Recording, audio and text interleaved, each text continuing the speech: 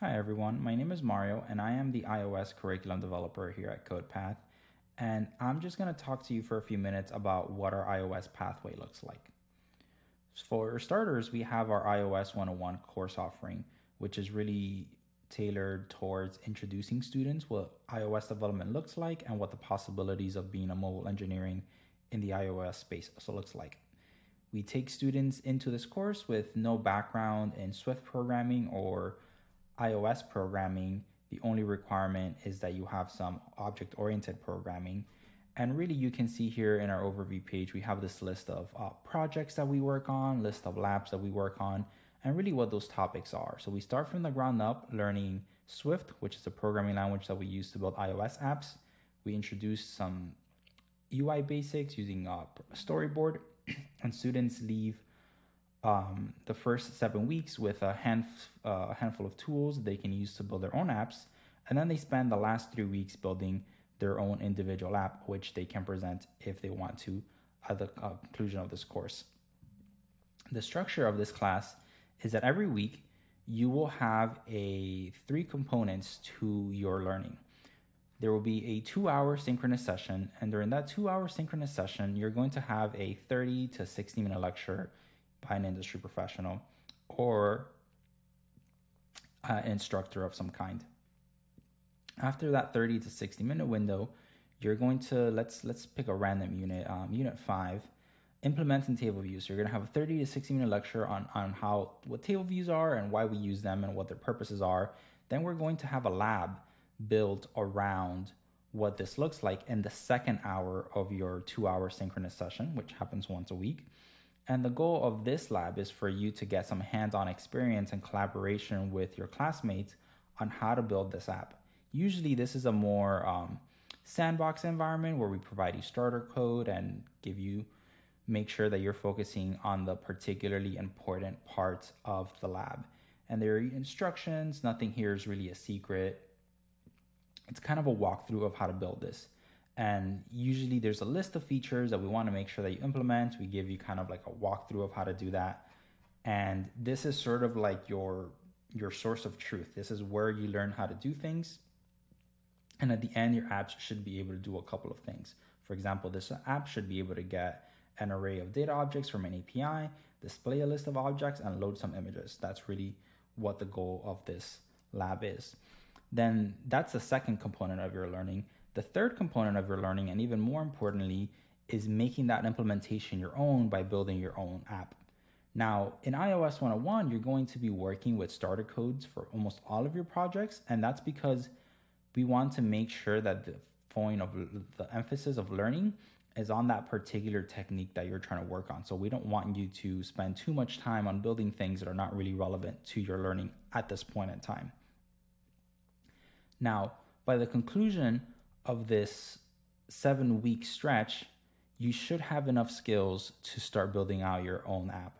And I can demo an example of what that app might look like if we come here and we look at an example of one of the apps that you build in the course. And if we come here, give it a second, the emulator can take its sweet times uh, at times. This is an app called Flixster, and basically it's an app that fetches data from the internet and displays a list of movies that are currently in theaters. Now, what's really cool about this app is that you are integrating APIs and networking into your application. You're reading data from the internet, which is something that almost all of the apps that we do, that we use today, implement. and what's even cooler is that there's sort of this UI component to it, like this here, where we can go into a more detailed view to see what else is going on in this movie, like if it's cut off or something like that. And then additionally, we're having local persistence. So one thing we can do is if we go here to this favorites tab, we can favorite movies that then populate automatically here. And this is not network dependent. This is stored locally on your phone. And as you add or remove movies, they're removed from here.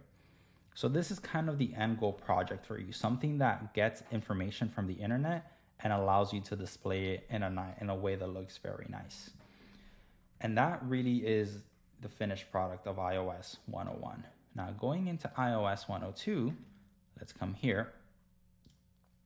iOS 102 kind of picks up where iOS 101 left off, and it kind of brings you through a much steeper ramp where you're still starting with the UI basics, but a lot of it is a little bit more to the point. So there's a, a, kind of an assumption that there are some things you've already seen before, but it's expected that you don't really remember it. So there's a little bit of a refresher. And, and the reason I use the word refresher is because it's enough to refresh your skills, but it's probably not enough to teach you everything you need to know from scratch. So the expectation when you go into iOS 102 is that you've already built iOS apps. Ideally, our requirements are that you've done them with iOS 101, but there might be exceptions to students that have built iOS apps in other ways, and we can look at those case by case. so, our course goes through the same 10 week unit structure where we start with the basics. We talk about navigation, so showing different screens on our apps, the same table view concepts, and passing data between table views. And we also introduce networking. And networking, there's really four major components for networking. In the first course, iOS 101, you really only explore read only networking. So there's really no updating of data, there's no deleting data, there's no insertion of data. That's what we're going to explore in the backend of iOS 102, where we create our own custom backend to make it uh, an Instagram clone and a BeReal clone. So the really cool thing about this is you're going to be able to build your own feed of posts that can follow all of the rules that you want them to follow. So if we go here to unit six, for example, this is an example of our Instagram clone where it kind of mimics the look of Instagram. The really cool thing about this is that you can make it look however you want. Really, what we're looking for here is can you implement your own backend? Can you have your own post? That's really the, the goal here. And then that that layout can be very specific to what you want it to look like. So this course also follows the three uh, pronged approach. We have our 30 to 60 minutes of asynchronous lecture. We have our lab portion, which is about an hour. Again, a lot of things are kind of given to you. You're really working with a starter code and you're given a lot of hand holding as you build out these labs because our goals with these labs are to teach you, not to test you. However, once you come to the projects, now the projects are immediately more challenging than what you had in iOS 101. Almost none of these projects have starter code, so we're assuming that you're building all of your apps from scratch, which is a, a little bit of a, difference from iOS 101. Now, what does an N project look like for iOS 101? Well, uh, sorry, for iOS 102, well, one big difference is that our project is a group project and you're gonna have an extra week to work on it. So here, it's really exciting to think about the ways that not only are we building a project, there's also a collaboration aspect to it. And that's really a key part of getting our students to be internship ready is that collaboration and group project building together, which can also be demoed at demo day. Now, let me show you what a finished iOS 102 project might look like. And I will demo to you our clone of Instagram. So we have here a very, so as you can see, this layout is a little bit different than the layout I showed you before. And here we just have posts. You can make the pictures look rounded. You can have captions. You can have the date. You can impl implement maps. There's a lot that you can do with this stuff. And really, this is the whole goal of this is make it your own and learn how to use a custom backend to make an app that's as powerful as you want it to be. So here we're looking for an app that lets us upload our pictures. We found his ears. And this is a pretty good picture of what a finished product might look like for iOS 102. Anyway, I hope you found a lot of this exciting.